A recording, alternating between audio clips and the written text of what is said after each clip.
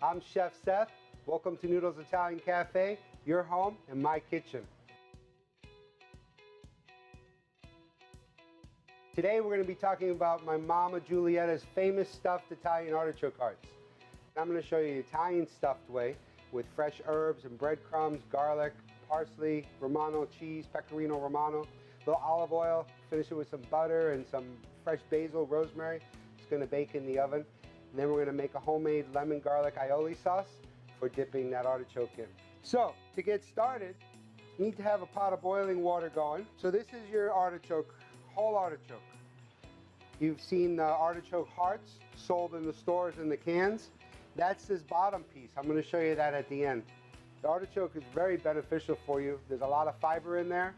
There's enzymes in there that'll help carry the bad cholesterol and uh, the poisons and toxins out of your liver. Besides being beneficial, the artichoke really is delicious. It has a slightly nutty, mild flavor, similar to uh, asparagus, broccoli uh, type of vegetable, kind of soft, mellow flavor.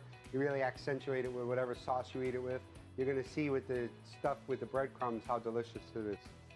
The edible part of the artichoke is, I'm gonna pull one of these off. This is still raw, so it's really hard. The edible part of the artichoke is this meat right down here on the leaf. So after it's cooked, we're gonna see how we enjoy it. But the question is, how do you eat the artichoke? Like this, up with the meat, or like this, down with the meat going that way. Sicily, they say down. Where my family's from in Tuscany area, a little northern, started in Calabria, it's up. So I wanna hear your feedback. How do you eat your artichoke, okay? So make sure you leave your comments about that. So first thing we're gonna do is take our artichoke heart, we're gonna cut off the top and the bottom so that it stands up. Down here on the bottom is the heart inside. Cut off the bottom, cut off the top. Some of these are a little prickly on the end. If you want a pair of scissors and trim them, you can. These are gonna go right in the water. You wanna fully submerge them. You can put them in either way. They're gonna pop and float. The heaviest part is on the bottom. Put them down. And they're gonna cook for approximately 35 to 45 minutes, depending on the size of the artichoke. The big jumbo ones, about 45 minutes. These medium large ones are about 35 minutes. So we're gonna take a little bit of olive oil. We're gonna do two tablespoons of finely diced white onion. We're gonna let those cook a little bit before we add the garlic, because the garlic's gonna cook quicker. Now you can add as much garlic or as little garlic as you like. If my dad was here, he'd put the whole thing. Any of you that remember my father. But I'm gonna put, for you at home, two small teaspoons of garlic. Remember, garlic very healthy for you. Don't want to miss that. Two cups of Italian breadcrumbs. We're going to put that in the bowl. Now we're going to take our onions and garlic, mix that in there. You don't have to cook it, but if you do, it softens it up a little bit, releases the flavor, and it's not so strong. Mix this up. Now we need we need two tablespoons of freshly grated Romano cheese. Those are heaping tablespoons, as you can see. About a tablespoon of uh, fresh chopped parsley. We mix that all up. Okay.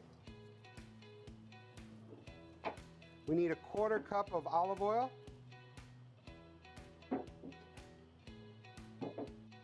Two tablespoons of fresh melted butter.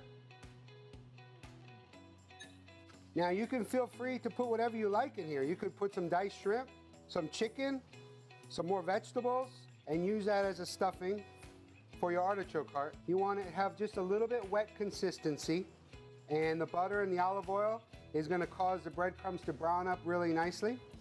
And I'm going to add some fresh chopped basil to the filling. This is called chiffonade. You roll the basil up, and you come across and slice it. 35 minutes have passed. The artichokes are done. I'm gonna show you how to test that. You take it out of the water, put it on the plate, take one of these wooden sticks, or you can use a knife at home. You turn it over, you insert it into the bottom, into the heart. If it goes through, it's ready. Also another way to test it, if the leaf comes right off, it's ready. This is the part that you're gonna eat. This is the edible part right here, the, the uh, artichoke meat. You're gonna open it up like this. You're gonna turn it into that beautiful artichoke flower. We have an artichoke mixture that we made. You're gonna take that artichoke, you're gonna put it right there in the bowl, let it cool down a little bit. Take those breadcrumbs, put it on top, work it into there really nice. Go heavy.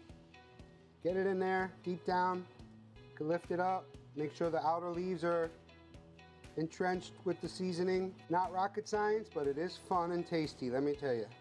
Okay, so that is ready to go into the oven. So take it and put it on a metal platter. At home, you probably have different metal platters. Baking dishes are fine, pans or whatever. We're gonna put a little more uh, butter on top.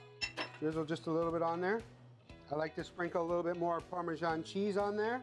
And you're gonna cook this until it browns up and it's nice and hot for about 10-15 minutes at 350 degrees. So now that the artichoke's baking in the oven, we've got all the ingredients together.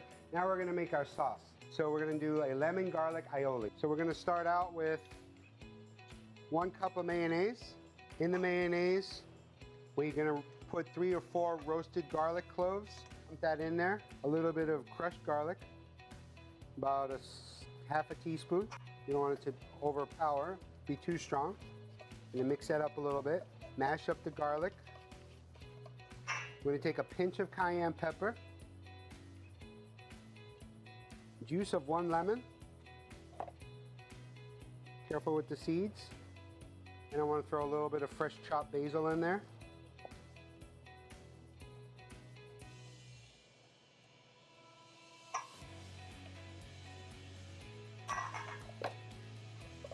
Little color.